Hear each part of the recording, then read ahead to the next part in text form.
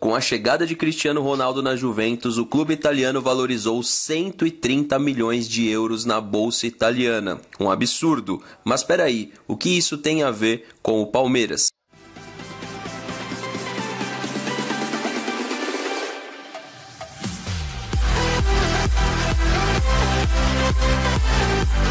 O canal tem apoio do Esporte em Miniatura, www.esporteminiatura.com.br. Bom dia pessoal, tudo bem? Ou boa tarde, boa noite, depende muito do horário que você vai assistir essa live. Pô, não sabia. Ah. É burro, cara, que loucura. Em alguns programas anteriores, a gente abordou um tema na live que o Palmeiras poderia crescer ou alavancar suas receitas com grandes contratações. Para você que não viu esse vídeo, eu vou deixar um trechinho e depois eu volto a falar mais um pouco. Se liga aí. Claro que, por mais que esse cara não entregue talvez o que o Palmeiras espera de futebol, que eu acho que esses três entregariam pelo menos minimamente alguma coisa, ele vai entregar marketing. E normalmente a torcida do Palmeiras já consome muito marketing, já consome muito marketing do clube, seja a TV, seja artigos do Palmeiras, seja qualquer situação do Palmeiras em si, o marketing num todo, tudo que envolve o clube num todo. Quando o Palmeiras traz uma contratação dessa forma, lógico que alavanca muito as receitas de marketing, alavanca muito ingresso e estádio. O Palmeiras nem precisa, porque o Palmeiras tem uma das melhores médias com esse time aí mesmo. E aí pessoal, eu tava conversando com um amigo palestrino, é, brasileiro que mora em Portugal, tem um sotaque português inclusive, mas ele não deixa de ser um cidadão europeu e que tem uma visão um pouco diferente dos brasileiros em termos de grandes contratações. Ele falou um pouquinho a respeito da contratação do Cristiano Ronaldo e como que isso somou em termos de receita. Eu vou deixar esse trechinho para vocês do vídeo dele e depois eu vou falar o que o Palmeiras pode adotar como medida futura para gerar mais receita e alavancar ainda mais as suas ações de marketing. Então, se você gostar da participação dele, a gente pode fazer outras situações mostrando o ponto de vista do palmeirense que mora fora do Brasil. E eu achei muito interessante o testemunho dele. Se liga aí. Olá a todos, pessoal. Um, eu estive a falar hoje com o Fernando no WhatsApp e surgiu a oportunidade de fazer uma breve colaboração com, com um belíssimo canal que ele tem no YouTube, que é um canal que eu já sigo desde há muito tempo, penso que desde quando havia cerca de 20 mil inscritos.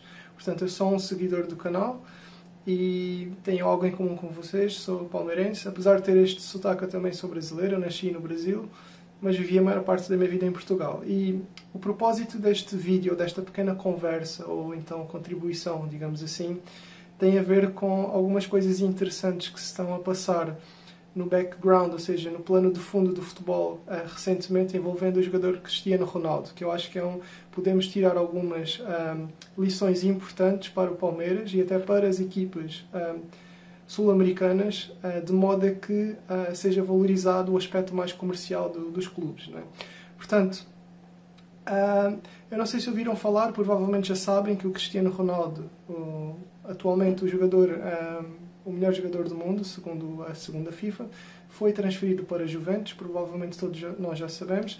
Eu estou aqui com a ficha aberta do jogador e consta que a transferência uh, rondou o total de 117 milhões de euros, uh, ou seja, 528 milhões de reais. E o que é que aconteceu? O que é que é interessante aqui trazer para vocês? Uh, o jogador ainda nem, se, nem ele apresentou-se hoje oficialmente, mas mesmo antes dele se ter apresentado, já há três dias atrás, os meios de comunicação, uh, os jornais, já davam conta uh, do facto de que uh, a procura por camisas do, do, Cristiano Ronaldo da Juventus foi enorme, de tal modo que venderam cerca de 50 milhões de camisas do Cristiano Ronaldo antes mesmo dele ter pisado o campo da Juventus, digamos assim. E aqui é o ponto de partida deste vídeo, ou seja, embora a Adidas seja a principal detentora desse dinheiro uh, relativamente à venda das camisas, sabe-se que a Juventus vai ganhar cerca de 10%, penso que seja cerca de 10% do, do valor total. E embora nós pensamos, ok, só 10% não é muito, é muito, equivale, neste caso aqui equivale a, a cerca de, penso que assim, 5, 5 milhões de, de reais, de euros neste caso. Portanto, se fizermos por 4, dá 20 milhões de reais. É bastante, é uma, uma verba significativa. E eu penso que quando são jogadores assim deste calibre, uh, os clubes podem sempre negociar um contrato de venda de, das camisas de modo a que tenham uma porcentagem mais interessante. Um, e, e, isto é interessante para nós percebermos que, fazendo aqui a ponte com o Palmeiras, porque é que estamos a falar disto? Porque o Palmeiras teve grandes jogadores que passaram pelo clube, uh, por exemplo, agora recentemente o Zé Roberto, jogadores já com alguma idade. Uh, e não foi bem feito esse, esse aspecto do marketing, não é? Eu penso que uh, tantos, tantos técnicos vão para a Europa para estudar, para aperfeiçoarem as suas práticas e aprender com os clubes europeus como é que se faz o gerenciamento das equipas, etc. Por que é que o Palmeiras não manda uh, a própria equipe de marketing é, para aprender com as outras equipes de marketing de, de clubes europeus a fazerem esses movimentos de, de, de, dar visibilidade aos jogadores, as contratações, de modo a que seja mais é, valorizada a camisa e que as vendas sejam maiores. Nós não estamos aqui para celebrar um, o dinheiro das vendas da camisa, não é isso. O que tem a ver é o investimento no clube. Nós, enquanto torcedores, temos interesse em, em, em que o clube esteja saudável do ponto de vista financeiro e, e, isso é mais uma forma de ajudar. O Palmeiras não pode ser. Um, Uh, simplesmente aqueles, aqu aqueles clubes que compram jogadores e exportam, que têm o objetivo só de exportar, também é preciso importar os jogadores, muitas vezes até jogadores que uh, já têm alguma idade, talvez, mas que uh, possam dar esse, esse adicional da venda de, das camisas, por exemplo. Haver aqui um movimento de marketing que é importante para ajudar na sustentabilidade financeira do clube. Eu penso que eu já me estendi mais do que, do, que o tempo planeado.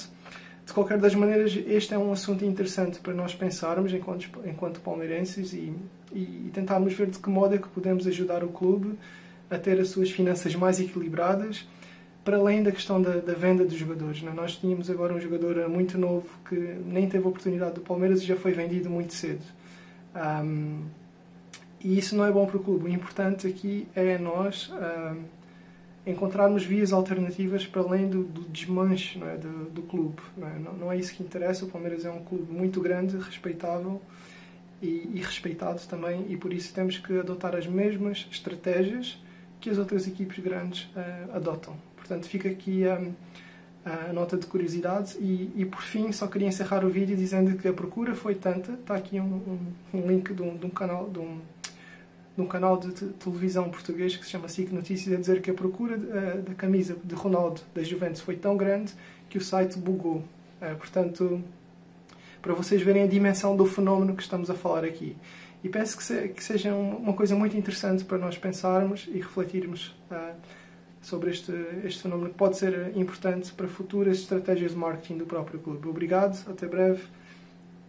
Fiquem bem. Ele citou o Zé Roberto e a grande jogada e a grande discussão desse vídeo é o seguinte: a gente percebe uma melhoria do Palmeiras no aspecto geral do marketing. Quando a gente diz aspecto geral, é desde o sócio avante até a melhoria de marketing no sentido de camisetas oficiais, blusas oficiais, enfim, no sentido geral, de 2014 para cá, o Palmeiras passou um processo de transformação e a Crefisa ela tá inserida sim nesse processo de transformação porque ajudou o Palmeiras a estruturar melhor as questões das dívidas, as questões aí de ter um patrocínio master é muito importante para ter uma saúde financeira do clube por um todo, mas aí a gente chega nas contratações. O Palmeiras, o Zé Roberto foi citado inclusive, o Palmeiras trouxe alguns grandes jogadores, mas apostou muito mais naquilo que o mercado oferece é, de novidade. Então o Dudu, por exemplo, quando veio para o Palmeiras, junto com o Zé Roberto, ele fez uma excelente temporada no Grêmio, mas não era aquele jogador já carimbado no mercado de transferências como um grande ídolo ou como um grande jogador.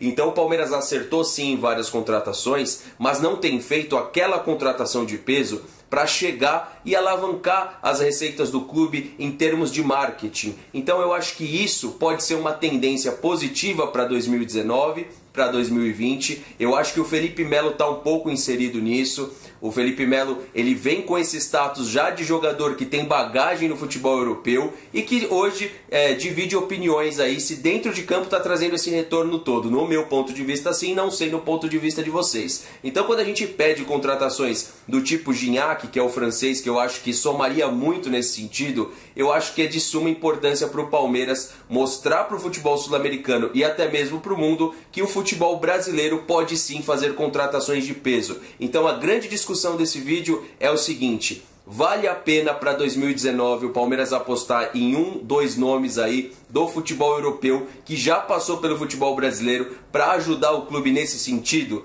Comenta aqui embaixo, tamo junto. Se você gostou do vídeo, não esquece, deixa o seu like. Até a próxima, pessoal, e valeu!